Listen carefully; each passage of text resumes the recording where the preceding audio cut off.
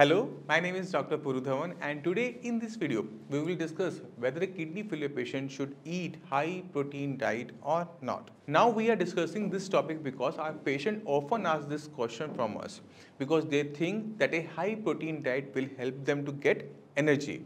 But in response to this question, we always say no.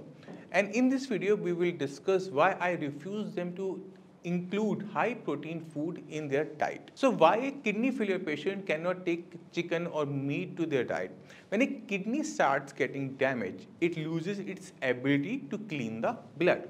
That is why creatinine levels of a kidney failure patient become higher than the normal. And the waste that the body doesn't come out through urine starts accumulating in the body. And in this condition, kidney failure patient cannot eat food items that generate more waste like creatinine and urea in the body. Now, some of you might be wondering what creatinine is and why it is important. Well, creatinine is a waste product that is produced in our muscles and released in the bloodstream. Whenever the muscle uses energy, a byproduct named creatinine is also formed. Normally, this creatinine is removed through body by kidney through urine. But in kidney patient, the creatinine cannot be removed by the kidney and it stays within the body. And if the kidney patient eats food item like chicken or mutton, which also contains high amount of protein, creates a worse condition for a kidney failure patient.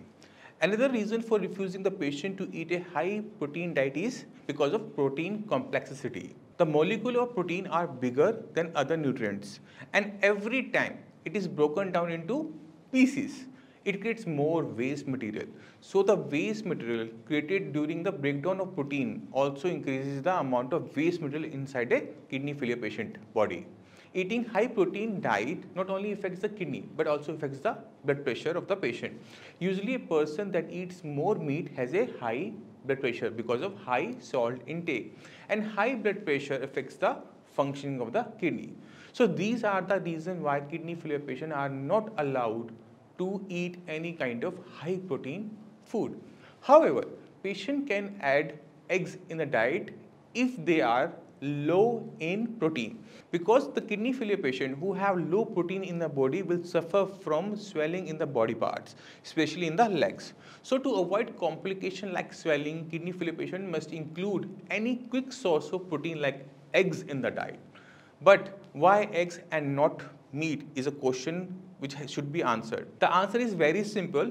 Eggs are only recommended in the condition because an egg is 100% digestible protein. But the amount of egg should be recommended by the dietitian or by the doctor.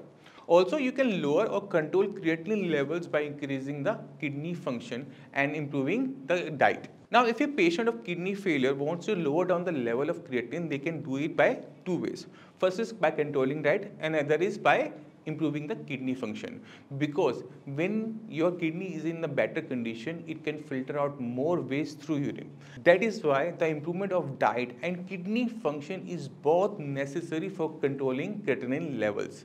The diet for kidney failure patients should be designed to prevent waste accumulation in the body and increase the kidney's functions. And when the kidney function improves, it also increases the creatinine clearance through urine. So you can control your creatinine level if you take care of your food and the function of the kidney. Also, it is very important to lower the creatinine levels to stop the dialysis. Now, the question arises how to improve kidney functions. Well, we have discussed earlier that controlling dietary habits help improving kidney's functionality. But it is not the only factor. The kidney will get better only if the cause of the kidney disease is controlled. Let's say the cause of the kidney failure was high blood pressure. To improve the functionality of the kidney, you need to control the blood pressure.